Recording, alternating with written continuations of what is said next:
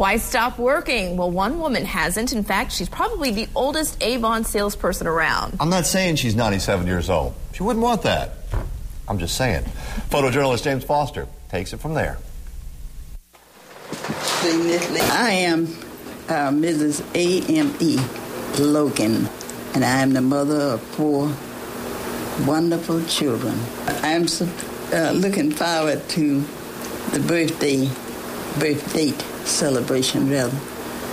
And uh, of course, uh, my father, he was an African Methodist uh, Episcopal minister, and he named me for the African Methodist Episcopal Church, which is AME.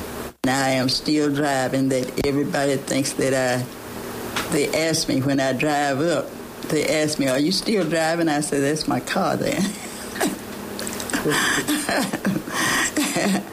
and and so it, it just makes a lot of fun and everybody wants to know how old are you? How old are you? And of course i am very happy to tell them that i am as old as my tongue and a little older than my teeth. And i let it go at that. I started selling avon and uh, george washington carver alone.